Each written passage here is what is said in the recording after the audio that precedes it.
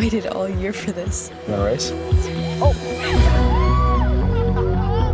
My family spends every summer in Cousins Beach with my mom's best friend and her two sons, Conrad and Jeremiah. They've always seen me as a little kid. But this summer, See you guys later. it's different. Damn. You look hot. Stop flirting with my sister. Dude, dude, focus.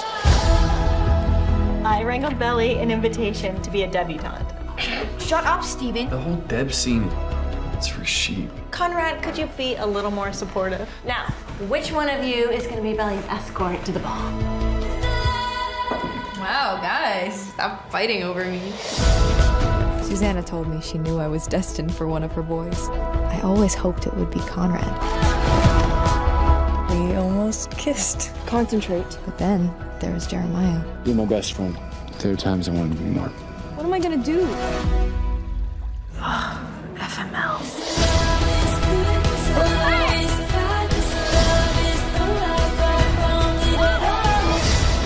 You're playing with a lot of hearts, Belly. Boys might come and go, but a best friend is once in a lifetime. Really wish you were here.